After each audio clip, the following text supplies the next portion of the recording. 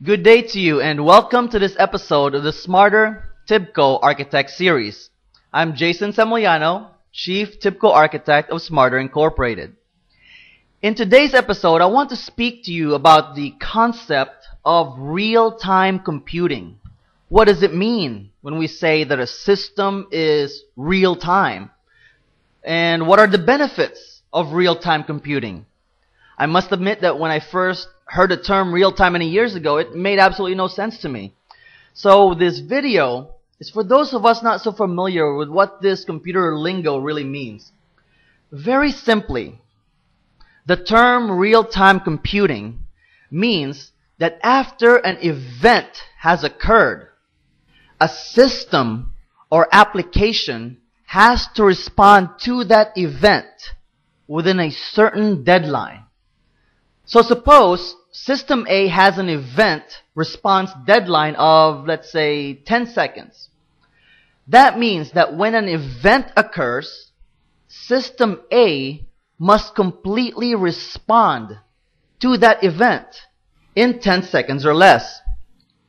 If system A successfully and consistently makes that response within the specified time frame, then we can say that system A is a real-time system.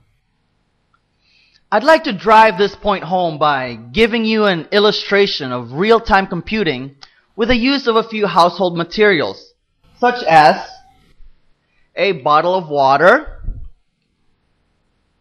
a bottle of Diet Coke, there you go, and a little bit of Mentos candy. Here we go. Very simply, the bottle of water represents a non-real-time system, such as a regular database or a file storage system. The Diet Coke, on the other hand, represents a real-time system. So that means we are expecting this Diet Coke to respond immediately to an event that is about to transpire. The Mentos candy over here represents the event itself. So let's get started.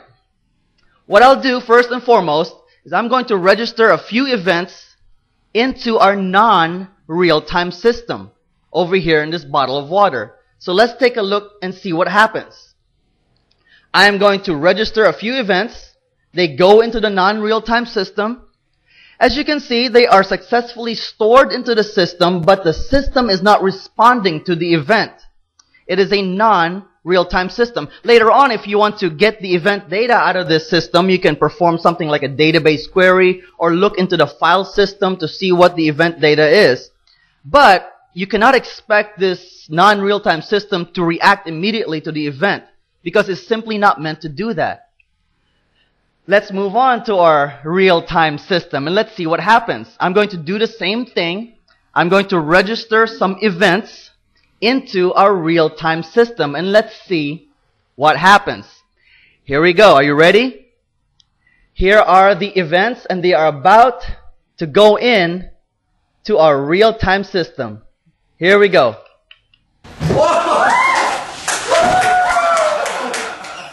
Wow. okay. That, my friends, is real-time computing. While my team members do a little cleanup here, let's talk about the benefits of real-time computing. Why is having a real-time system such a great thing? Well, for a few organizations, it may not be so important, but for many, many companies, this is absolutely critical. For example, many chief executives will not find it acceptable if they go into the company's reporting system and see only the data from six hours ago. That is simply not acceptable. These executives need to see the exact data that is in the company's many databases the moment they pull up that report from the reporting database system. This was true in a large research company I had worked for in the past as a lead TIBCO consultant. This company needed the reporting system to reflect the data collected by their scientists at real time. The moment a scientist enters the data into the research database, the company wanted the data to go into the reporting database system immediately, within two minutes or less. That way, the executives who wanted to see the reports can have access to the latest set of scientific data available. Other cases in which real-time computing is critical are the availability of seats in a flight in an airline reservation system or the enemy location for a missile defense system. Can you imagine how horrendous these systems would be if they were not real time? It's clear that real time computing is quickly becoming a critical need for businesses that need to have an edge over the competition. I believe that if a company has not yet adopted real time computing into its IT infrastructure, it leaves itself in danger of getting hurt by a competitor who is already reaping the benefits of real time computing. But of course, this is not a video about marketing strategy, so let me get back to the main point. Very simply, a real-time system or application is one that responds to an event within a certain specified time frame. In the same way that the Diet Coke that we had here earlier immediately responded to the Mentos candy, a real-time system immediately responds to the occurrences of events for which the system is listening. In future episodes in this series, I will discuss the many software products offered by Tibco Software, which I feel are very good tools for achieving real-time computing in your enterprise.